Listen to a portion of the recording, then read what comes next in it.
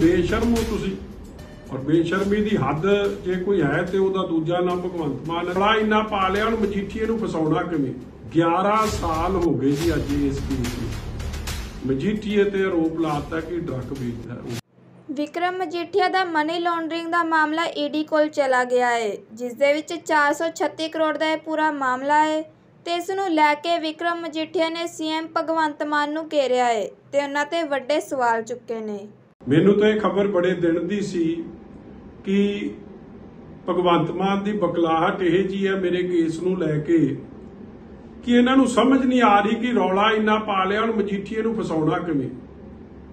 ਸਾਧ ਸੰਗਤ ਜੀ, ਸਭ ਤੋਂ ਪਹਿਲਾਂ ਤਾਂ ਜੇਸ ਈਡੀ ਨੂੰ ਆਮ ਆਦਮੀ ਪਾਰਟੀ ਤੇ ਭਗਵੰਤ ਮਾਨ ਇੰਨਾ ਇੰਨੀਆਂ ਗਾਲਾਂ ਕੱਢਦੀ ਆ, ਕੋਸਦੀ ਆ।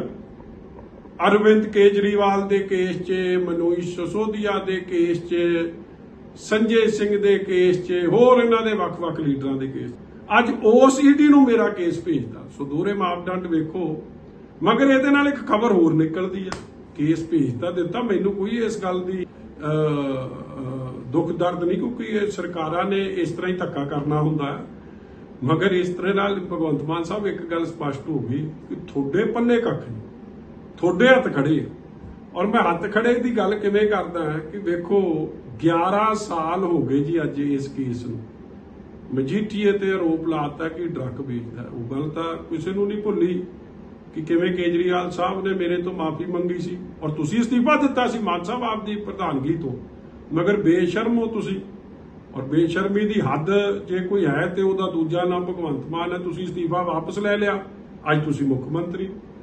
ਇੱਕ ਸਿੱਟ ਨਹੀਂ, ਪੰਜ ਪੰਜ ਸਿੱਟਾਂ ਤੁਸੀਂ ਬਦਲ ਲਈਆਂ। ਆਲਾ ਆਲਾ ਅਫਸਰ ਲਾ ਕੇ ਵੇਖ ਲਿਆ, ਕੱਖ ਨਹੀਂ ਲੱਭਿਆ, ਔਰ ਇਸ ਲਈ ਅੱਜ ਹੱਥ ਖੜੇ ਹੋਣ ਦਾ ਨਤੀਜਾ ਵੇਖ ਲਓ। ਕਿ ਜਿੱਥੇ ਤੁਹਾਨੂੰ ਇੰਨੇ ਸਾਲ ਬੀਤ ਗਏ 3 ਸਾਲ ਤੁਹਾਡੀ ਸਰਕਾਰ ਨੂੰ ਹੋ ਗਏ ਲਗਭਗ। ਚਲਾਨ ਤੁਸੀਂ ਨਹੀਂ ਪੇਸ਼ ਕਰ ਪਾ ਰਹੇ।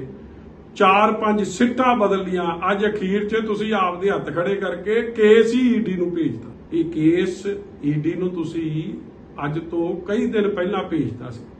ਮਗਰ ਰੌਲਾ ਅੱਜ ਪਵਾਇਆ ਤੁਸੀਂ? ਕਿਉਂ ਪਵਾਇਆ ਕਿਉਂਕਿ ਮੈਂ ਜੋਤ ਬੈਂਸ ਤੇ ਉਹਦੀ ਘਰ ਦੀ ਦਾ ਰੌਲਾ ਪਾਇਆ ਕੁਝ ਦਿਨ ਪਹਿਲਾਂ। ਸੋ ਤੁਸੀਂ ਚਾਹੁੰਦੇ ਸੀ ਧਿਆਨ ਭਟਕਾਇਆ ਜਾਵੇ।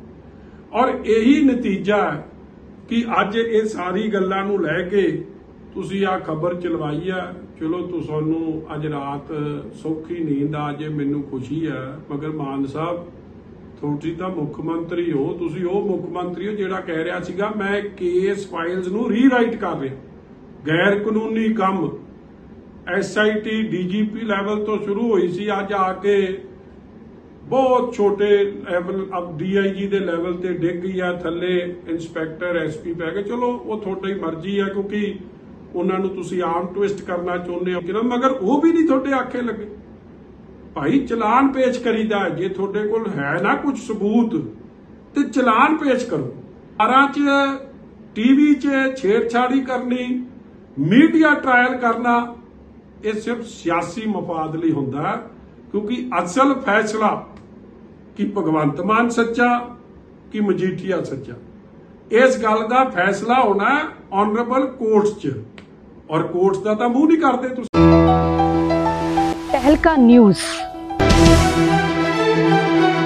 जेकर सच लिखना सच बोलना बगावत है ता समझो तहलका न्यूज बागी है जनता ਦੀ ਆਵਾਜ਼ ਸਰਕਾਰ ਤੱਕ ਪਹੁੰਚਾਉਣ ਲਈ ਤਹਿਲਕਾ ਨਿਊਜ਼ ਹਰ ਟਾਈਮ ਹਰ ਵਕਤ ਤੁਹਾਡੇ ਨਾਲ ਹੈ ਜੇਕਰ ਸਰਕਾਰਾਂ ਕਰ ਰਹੀਆਂ ਨੇ ਕਿਸਾਨਾਂ ਨਾਲ ਧੱਕਾ ਨਹੀਂ ਸੁਣੀ ਜਾ ਰਹੀ ਗਰੀਬਾਂ ਦੀ ਗੱਲ ਤਾਂ ਪੰਜਾਬ ਦਾ ਇੱਕ ਬੇਧੜਕ, ਨਿਰਧੜਕ ਪਹਿਲਕਾ ਨਿਊਜ਼ ਹਰ ਵਕਤ, ਹਰ ਟਾਈਮ ਹਰ ਪਲ ਤੁਹਾਡੇ ਨਾਲ ਹੈ।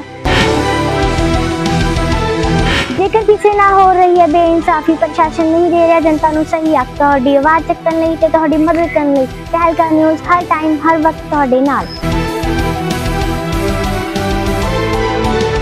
ਜੇਕਰ ਜਨਤਾ ਨਾਲ ਹੋ ਰਿਹਾ ਹੈ ਧੱਕਾ, ਰਾਜਨੀਤਿਕ ਨੇਤਾ ਜਾਂ ਸ਼ਰਾਰਤੀ ਆਂਸਰ ਜਨਤਾ ਨੂੰ ਕਰ ਰਹੇ ਨੇ ਪਰੇਸ਼ਾਨ। ਤੁਹਾਡੀ ਆਵਾਜ਼ ਨੂੰ ਬੁਲੰਦ ਕਰਨ ਵਾਸਤੇ ਤਹਿਲਕਾ ਨਿਊਜ਼ ਹਰ ਵਕਤ, ਹਰ ਟਾਈਮ ਤੁਹਾਡੇ ਨਾਲ ਹੈ।